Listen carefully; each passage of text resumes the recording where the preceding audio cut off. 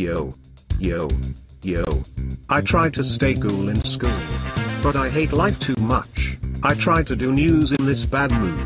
I'm at work as a stupid clerk, but I just can't eat my broccoli.